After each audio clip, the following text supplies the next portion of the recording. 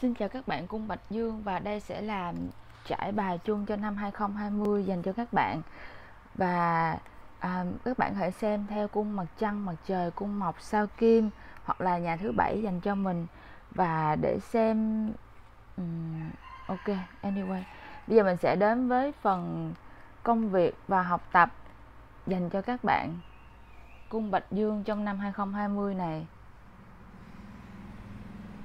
về phần công việc và học tập dành cho các bạn cung bạch dương á. Ở đây mình thấy rằng các bạn sẽ có một sự thay đổi lớn đến với công việc hoặc là học tập dành cho mình. Ở đây các bạn có lá Wheel of Fortune. Các bạn có lá Wheel of Fortune và Big Happy Changes. Nó sẽ giống như là cái bánh xe định mệnh sẽ đến và sẽ xuất hiện trong cái công việc và học tập dành cho các bạn và thật ra đối với những bạn cung bạch dương á các bạn có lá nine of swords ở đây. Có thể là các bạn sẽ um, cảm thấy rằng á là cái sự thay đổi này á, nó là một cái sự thay đổi mà mình hoàn toàn không được mong muốn cho lắm. Và cho nên là các bạn cảm thấy khá là lưỡng lự và bạn không chắc chắn rằng mọi việc nó đến với mình nó sẽ êm xuôi hay là nó sẽ như thế nào nói chung là bạn có rất là nhiều sự băn khoăn, lo lắng trước sự thay đổi này. Nhưng mà, thật ra trong cái trả bài của bạn á, thì cái sự thay đổi này là một cái sự thay đổi hoàn toàn tốt dành cho bạn. Và ở đây á, nó sẽ giúp cho bạn tiến lên về phía trước rất là nhiều. Ở đây các bạn có lá rise and shine. Nó giống như là trước đây các bạn đã rất là tuyệt vời đã, đã rất là tỏa sáng rồi. Và những cái sự mà thay đổi trong năm 2020 này á nó sẽ làm cho bạn càng ngày càng tuyệt vời càng ngày càng tỏa sáng hơn mà thôi. Và cho nên là nếu mà các bạn cảm thấy rằng á cái con đường học tập hoặc là cái con đường sự nghiệp của mình nó là một cái đó nó rất là mù mịt và bạn đang trong cái quá trình tìm kiếm hoặc là bạn cảm thấy cái sự thay đổi này mang đến cho bạn quá nhiều cái sự lo lắng sự cô đơn sự lạnh lẽo sự một mình á thì hãy tin rằng mọi thứ đều có lý do của nó. Và bạn có lá bring love into the situation và lá hai ly ở đây. Có nghĩa là các bạn hãy mang đến cho bản thân mình à, xin lỗi mọi người không phải cho bản thân mình mà là mang đến cho công việc hoặc là cái sự học tập của, của mình á về những cái thay đổi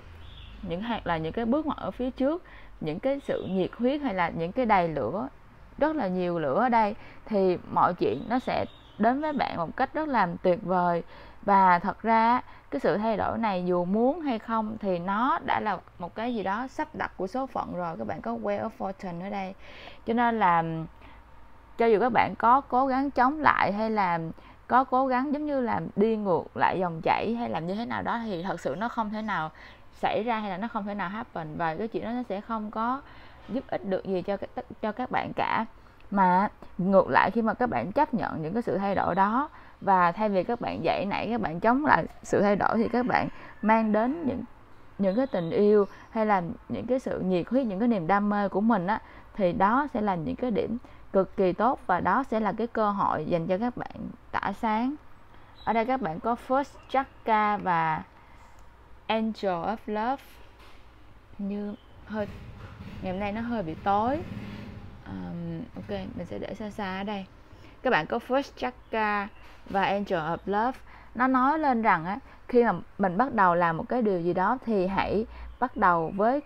tất cả tình yêu và cái sự nhiệt huyết của mình. Và rồi hãy ngừng giống như là có những cái sự lưỡng lự hay là băn khoăn hay là lo lắng gì cả và thành công sẽ đến với các bạn. Mọi người đợi mình xíu nha. Để mình đi mở thêm cái đèn.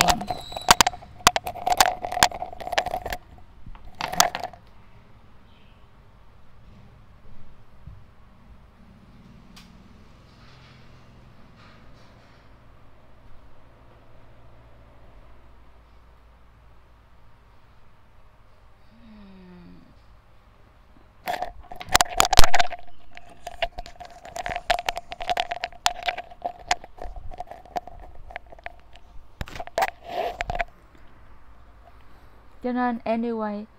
à, đối với những bạn cung bạch dương về công việc hoặc là về học tập của mình á thì các bạn hãy mang đến cho mình những cái niềm vui những cái điều gì đó tích cực và cái, những cái sự thay đổi sắp đến với các bạn á nó sẽ là happy change chứ không phải là những cái gì nó rất là buồn rầu hay là rất là tiêu cực. Cho nên là các bạn đừng quá lo lắng. Và đó là dành cho các bạn về phần công việc và học tập. Và bây giờ mình sẽ tiếp đến phần tình cảm dành cho các đối tượng còn đang độc thân. Bạn có ace of one the star, the fool queen of wands, in the near future.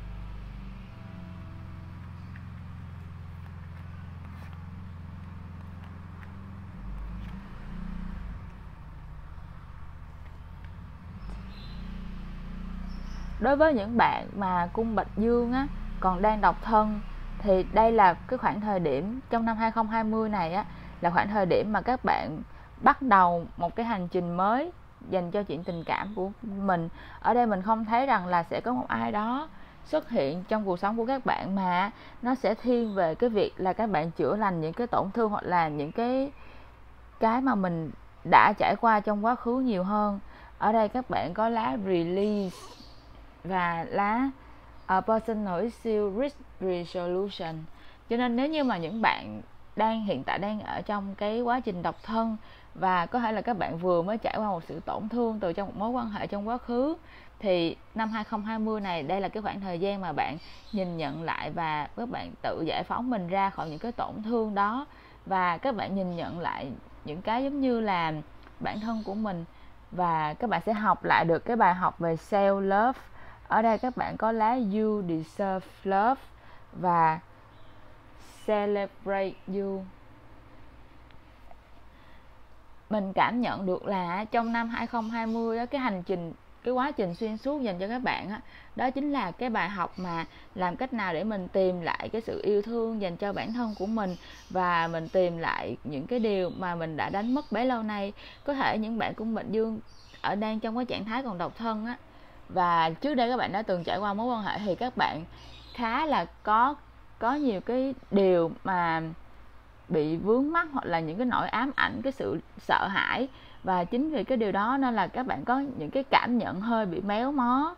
Mình sẽ sử dụng là cái cảm nhận, cái từ méo mó trong một mối quan hệ. Có nghĩa là khi mà bạn lao đầu vào cái mối quan hệ này, hoặc là khi mà bạn cảm nhận là bạn bắt đầu có tình cảm một ai đó, thì bạn có xu hướng giống như là dâng hết tất cả hay là bạn dồn hết tình cảm vào cái đối phương hoặc là cái mối quan hệ của mình mà bạn quên mất đi cái việc giống như là bản thân mình cũng xứng đáng được đón nhận tình yêu thương hay là những cái gì đó tuyệt vời dành cho bản thân mình và chính vì cái điều đó, cho nên là các bạn sẽ làm cho cái mối quan hệ này càng ngày càng trở nên mệt mỏi hơn năm 2020 này sẽ là một cái năm mà bạn take the lead, là bạn tự làm chủ bản thân của mình và bạn biết được rằng á, mình tuyệt vời như thế nào, bạn có những cái sự khởi đầu mới, những cái điều gì đó rất là tuyệt vời và trên cái hành trình của bạn á, thì bạn cảm thấy rất là ổn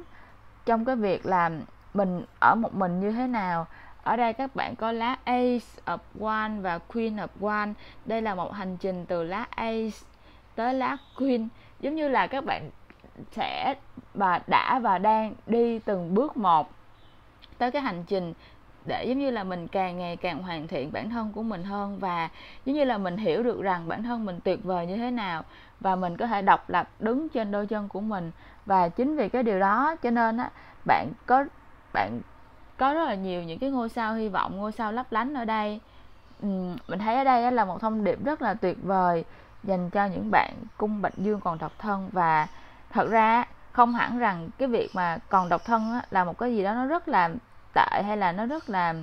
bị bế tắc mà cái khoảng thời gian mà chúng ta còn độc thân như vậy á nó chính là cái khoảng thời gian tốt nhất để bản thân mình có thể nhận ra và biết được hoặc là tìm lại được cái giá trị của mình như thế nào. Và tự bản thân mình có thể làm chủ được um, cuộc sống của mình mà không phải bị phụ thuộc cảm xúc hay là phụ thuộc vào bất cứ một ai khác. Và khi mà các bạn đã làm rất là tốt cái điều đó rồi á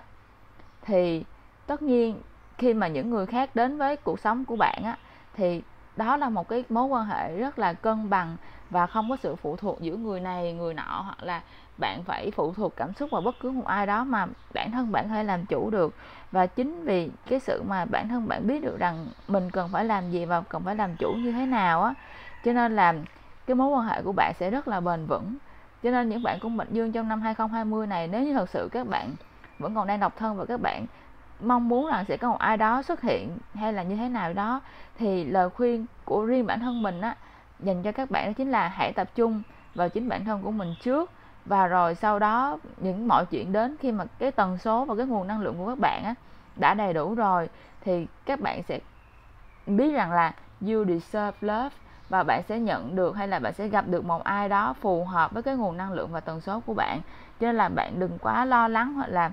đừng quá giống như là mong đợi rằng sẽ có một ai đó hay là ừ, một người nào đó sẽ xuất hiện trong cuộc sống của bạn. Giống như là mình cần cái tình cảm từ một ai đó chứ không phải là cái tình yêu đích thực từ trong chính bản thân của mình. Cho nên là ừ, mình cảm nhận được đây là một, một thông điệp rất là tuyệt vời. Và chúc mừng các bạn cung bạch dương các bạn còn ok. Và bây giờ mình sẽ đến với các bạn cung bạch dương còn đang đã có đối tượng hoặc là đang trong một mối quan hệ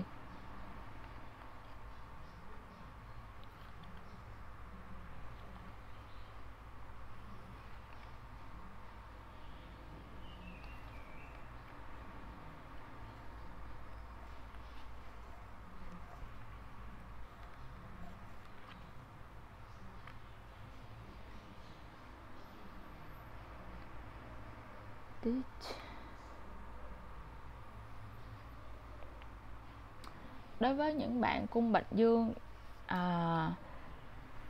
đã có đối tượng hoặc là đang trong một mối quan hệ á thì trong năm 2020 này sẽ là những điều mà đầy sự mơ hồ dành cho các bạn. Và um, thật ra những cái điều đến trong năm 2020 này á nó không có cái gì khác hơn và tuyệt vời hơn. Ngoài cái việc là tất cả những cái chướng ngại vật hoặc là cái obstacle đến với các bạn á, là để các bạn có thể lắng nghe được trực giác của mình, lắng nghe được những điều mình thật sự cần. Và teach ở đây có nghĩa là những cái điều này nó xuất hiện là để cho các bạn học được một cái điều gì đó và, nói chứ là nó để sẽ giúp ích cho cái quá trình mà để các bạn có thể tiến lên hoặc là cái hành trình để trưởng thành dành cho các bạn. Thật ra ở đây mình thấy có rất là nhiều lá um, mang đến những cái điều rất là tích cực. Các bạn có listen teach lead.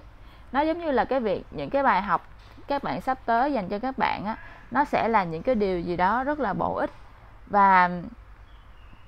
ở đây các bạn có lá năm gậy và lá 7 ly. Có thể đối với các bạn trong năm 2020 này á, là một cái sự một khoảng thời gian tràn đầy cho cái việc là mình phải đấu tranh nội tâm như thế nào và có rất là nhiều cái việc mơ hồ. Và đôi khi các bạn cũng không rõ giống như là cái việc mà các bạn không rõ và các bạn không xác định được thực chất cái tình cảm hay là cái mối quan hệ này của mình là như thế nào và ra sao hoặc là đi đến đâu. Đôi khi á, các bạn luôn muốn nắm giữ cái mối quan hệ này và cũng có đôi lúc các bạn muốn release nó đi, giống như là để nó phóng theo cái chiều gậy và mọi chuyện muốn ra đâu, muốn tới đâu thì tới. Nhưng mà thật ra cái mối quan hệ này đến là không có gì khác. Ngoài việc rằng, giống như hồi nãy mình nói ba cái lá đầu tiên của các bạn á, các bạn có lead teach và listen. Giống như là cái việc mà để các bạn có thể nhận ra được cái giá trị bản thân của mình như thế nào và những cái bài học mà mình cần phải học để phát triển bản thân của mình. Và thật ra mình cảm nhận được có thể cái mối quan hệ này á, là bạn đã và và chuẩn bị hay làm gặp được một ai đó trong công việc hoặc là trong học tập hoặc là những cái gì mà liên quan đến tài chính. Và các bạn khá là băn khoăn, nhưng mà thật ra ở đây các bạn có lá let your friends help you and communication clearly. Cho nên nếu như mà thật sự các bạn vẫn còn có những cái điều mà mình không ổn hoặc là mình cảm thấy không rõ ràng á, thì các bạn có thể nhờ đến sự giúp đỡ của bạn bè, người thân hoặc là những ai mà các bạn cảm thấy thật sự tin tưởng. Và về cái việc mà các bạn cảm thấy như là bị đấu tranh nội tâm và mọi thứ nó khá là mờ ảo, nó khá là không có việc gì đó, nó nó được rõ ràng á, thì các bạn có thể đến và tâm sự với họ ở đây các bạn có lá adjustment are required giống như là những cái cách làm trước đây của các bạn á. Hoặc là những cái suy nghĩ của các bạn về về cái mối quan hệ này hoặc là cái cách mà mình hành động như thế nào á thì đã đến lúc các bạn cần phải có sự thay đổi. Và để cho nó phù hợp với hơn đối với tình huống hiện tại. Uhm, nói chung á trong năm 2020 này mình thấy cái từ khóa dành cho các bạn ở đây á đó chính là um, mình làm rõ được những gì mà mình cần, mình thắc mắc bấy lâu nay và thay, và khi mà mình đã làm rõ được cái vấn đề đó rồi á, thì mình sẽ có những cái hướng thay đổi để mình có thể phù hợp hoặc là giải quyết với vấn đề đó hơn. Và thật ra cũng không có gì gọi là quá nặng nề hay là giống như là một cái đó dông bão hay là bão tố sắp đến cả. Và giống như là cái việc mà các bạn sẽ điều chỉnh cái mối quan hệ của mình để làm cho cái mối quan hệ của mình càng ngày càng tuyệt vời càng ngày càng khắng khích hơn nó chỉ có đơn giản vậy thôi. Và thật ra là mình cũng thấy rằng đây là một cái khoảng thời gian mà không quá nhiều gọi là cái strategy á như là những cái um, bi kịch. Nói chung là nó không có quá nhiều những cái gọi là sự thăng trầm lúc lên lúc xuống nó khá là bình ổn và, nhưng mà cũng không hẳn rằng là nó nó quá tuyệt vời dành cho các bạn. Nhưng mà anyway, nó nó cũng là một cái dấu hiệu khá là tốt. Và trong cái mối quan hệ của các bạn sẽ có những cái sự, gọi là,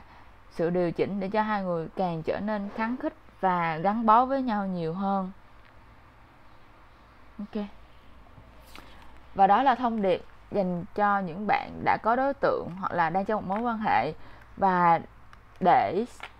nhận thông báo khi có video mới, mọi người hãy nhấn vào nút đăng ký hoặc là subscribe và nhấn vào cái chuông ở bên cạnh. Và mình đã xong trẻ bài dành cho cung Bình Dương rồi, trong năm 2020 rồi và hẹn gặp lại mọi người trong những video tiếp theo.